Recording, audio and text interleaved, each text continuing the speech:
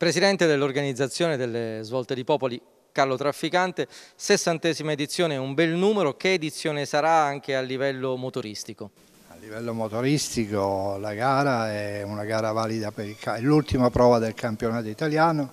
prima del girone delle finali, quindi abbiamo avuto un ottimo riscontro dal punto di vista della partecipazione, ci sono quasi tutti i piloti che hanno fatto il campionato fino ad oggi, un bel numero di partecipanti, speriamo in una riuscita, quindi nel solco di quello che è stato fatto fino ad ora. Sono 60 anni, dal 1963, si sono avvicendati un po' tutti eh, gli specialisti della, della salita, ancora oggi abbiamo il pilota che è in testa al campionato è Simone Fagioli. Il presidente Giampiero Sartorelli che rappresenta l'Automobile Club di Pescara è un orgoglio perché Popoli arrivare a 60 anni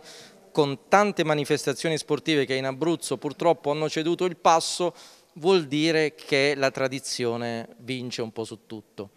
Ma la tradizione vince un po' su tutto, ma soprattutto qui vince la qualità, la qualità de, di, una, per, di, un percorso molto tecnico, molto difficile, apprezzato da, da tanti piloti e che forse vengono qui perché ogni, hanno sempre la speranza di poter vincere questa gara, che veramente eh, averla nel palmarès è importantissimo. 60 anni per un territorio che vive di motori, ha tanti appassionati, ha dato tanto all'automobilismo sportivo, per me è un privilegio rappresentare l'ente che ha creato questa manifestazione e continua a seguirla dopo 60 anni con grande impegno. Io penso che sia una delle più belle gare che ci siano in Italia.